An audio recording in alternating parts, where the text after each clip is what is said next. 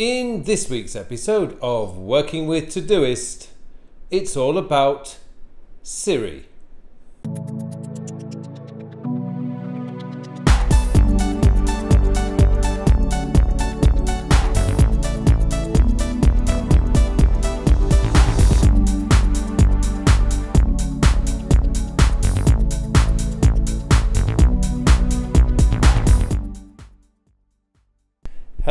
And welcome to this 122nd episode of Working with Todoist.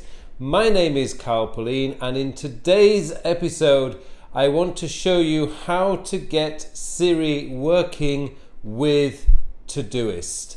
Now, I've seen a lot of people on Twitter and indeed Facebook actually having a few problems getting this set up. So, the first thing, of course, you need to make sure is that you are using the latest operating system from Apple, iOS 11. So you need to make sure you've got that downloaded. But once you've got it downloaded, I've, I've seen a lot of people having real problems getting Siri to actually understand the word Todoist.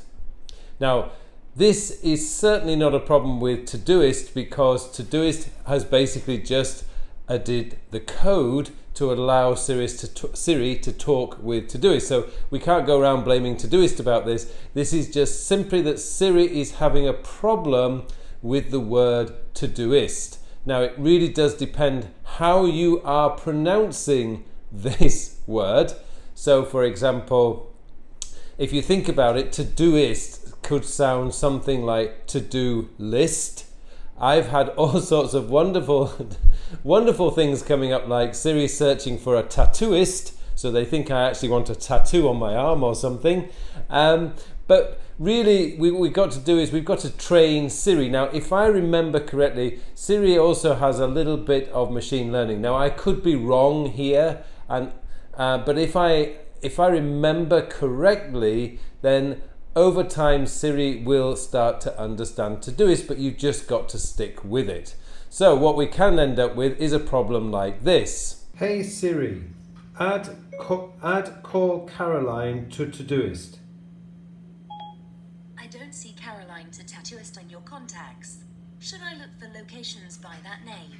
But if you change the word slightly or change the way you pronounce the word slightly and say, hey Siri, add, add call Caroline to Todoist, so what you're saying is to do then there's a much better chance that Siri is going to understand you. Now I know this is not perfect, and I know that really Siri is going to have to start learning to understand the word Todoist, but uh, I do believe that Todoist is actually talking with Apple to see if there is a way around this, and maybe we will get an update to the operating system later. I have no idea on this one, but perhaps we will. But for the time being, what you'll find is if you say something like this Hey Siri, open Todoist.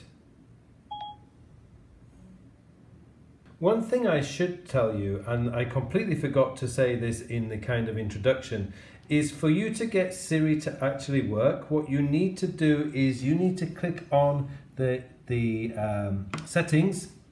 You need to go into Siri. So we'll go down here and Siri and so we're going to go into Siri and search. You actually need to turn Siri on for Todoist. So I've got, oh, look at all these applications hundreds of them. Let's get down here. Todoist is here. So what you've got to do is you've actually got to put search and Siri suggestions and use with Siri. If you don't turn that on, Siri is not going to recognize um, Todoist. So just keep that in mind. I forgot to mention that in my um, preamble introduction. So it's in the settings, you need Siri and search and you need to turn it on.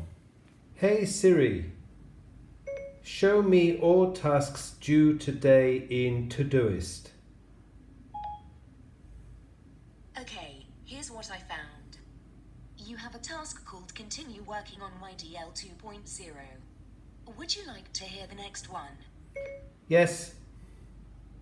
You have a task called Add New Word to Word List. Want the next one? Hey Siri, Add finish project to Todoist. Okay, I've created it. You have a task called Finish Project.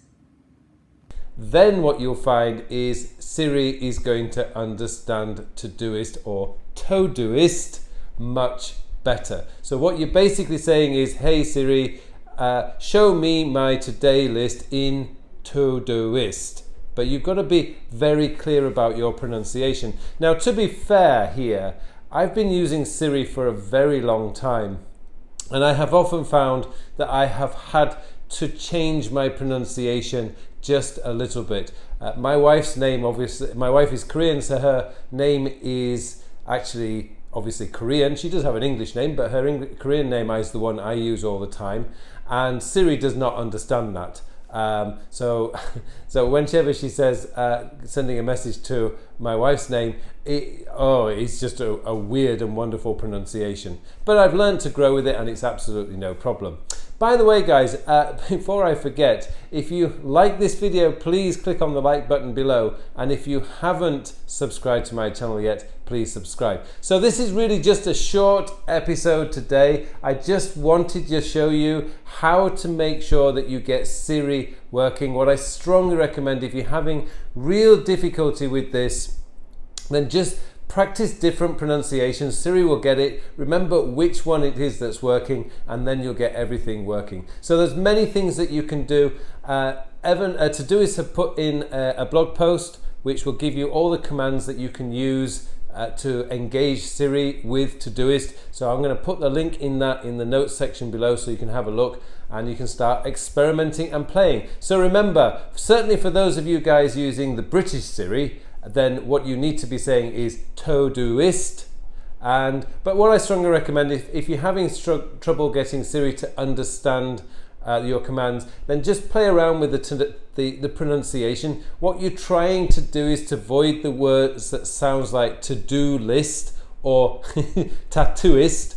Um, but once you've done that, no problems at all, and you will very quickly pick it all up. Okay, short episode today. Thank you very much for watching, and I wish you all a very, very productive week.